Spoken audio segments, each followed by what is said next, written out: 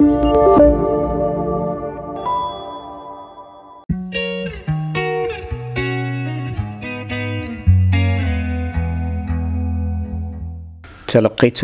ببالغ الحزن والأسى وفاة صديقي وزميلي العزيز الأستاذ علي موفوس أستاذ القانون الدولي والعلاقات الدولي الدولية والخبير.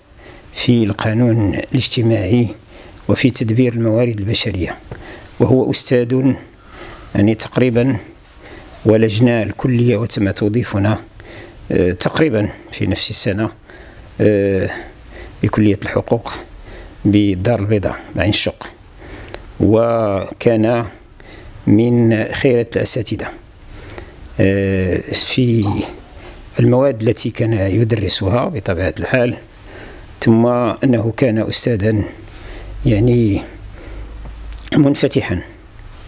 منفتحا على كل التيارات والمذاهب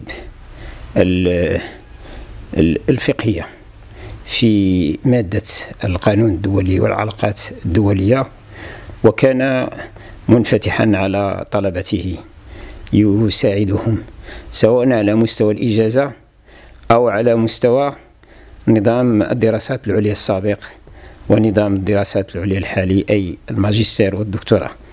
وأطر مجموعة من الأطروحات. وكان تقريبا يلتقي باستمرار. وخلال جائحة الكوفيد كنت بمعية آه، صديقة أستاذة نعيمة قنوني وأساتذة آخرين.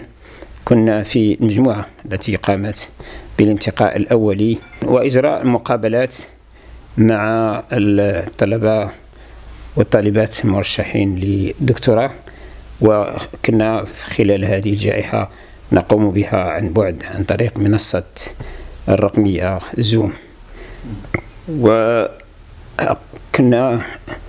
في يعني مرات عديدة ننظم يعني لقاءات بعد الجائحة حضوريا بالدار البيضاء.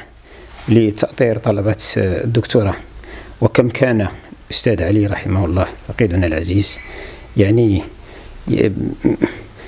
كان صارما في توجيهاته ولكنه كان دائما بشوشا وكان يساعد الطلبة وكان محبا للحياة بحيث أنه قبل رحيله بتقريبا حوالي شهر ونصف كنا قد التقينا مع زملاء وزميلات بالدار البيضاء بدعوة من صديق عزيز و تناولنا الغذاء جميعا في فن في مطعم قريب منه فالفقيد في الواقع خسارة ليس فقط للجامعة ولكن أيضا للهيئات الحكومية وغير الحكومية والدولية التي كانت تستأنس بخبرته في مجال القانون الاجتماعي أي قانون الشغل وأيضا في تدبير الموارد البشرية. وكان متعدد التخصصات بحيث أنه كان يدرس حتى في ماستر للموارد البشرية آه، في شعبة العلوم الاقتصادية وهو ينتمي لشعبة القانون العام والعلوم السياسية. يعني لا يمكن أن نوفيه حقه. ولكن مرة أخرى يعني أطلب من أدعو الله سبحانه وتعالى أن يشمله برحمته الواسعة وأن وبغفرانه ورضوانه وأن يلهم أسرته وذويه ويلهمنا نحن جميعا صديقاته وأصدقائه وزملائه الصبر والسلوان. إن لله وإنا إليه راجعون. Thank you.